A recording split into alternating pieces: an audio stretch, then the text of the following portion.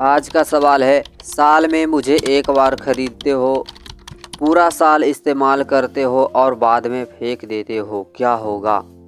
तो इसके लिए 10 सेकेंड का टाइम दिया गया है। अगर आप इसका आंसर जानते हैं तो कमेंट में लिख सकते हैं।